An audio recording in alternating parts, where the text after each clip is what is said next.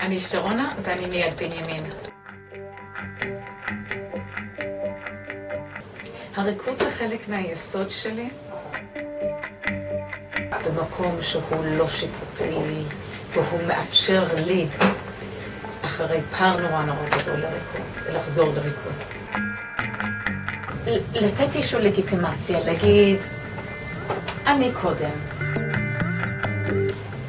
כמו שעוד הרבה דברים נכנסו למקום של נשמה, גם, גם קריירות אחרות וגם uh, ילדים. Uh, והקשר הזה של בין הגוף והנפש, uh, להיות בקשר uh, אחר שהוא נורא מוכר לי, ועוד פעם הוא נורא נורא שונה.